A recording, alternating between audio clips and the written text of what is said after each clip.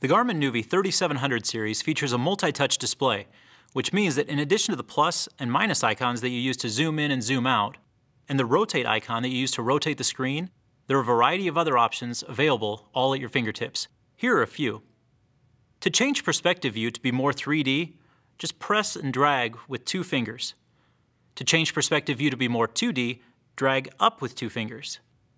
To pan the map view to wherever you like, touch and drag with one finger. Tap the screen with one finger and a map bubble will pop up that gives the location of where you tapped.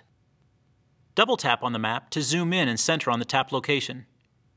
To rotate the map to the right, drag two fingers to the right. The same works to the left. To zoom out, touch two fingers and slide them together. To zoom in, touch two fingers to the screen and slide them apart. All of these features and more are available thanks to Garmin Nuvi 3700 series multi-touch display.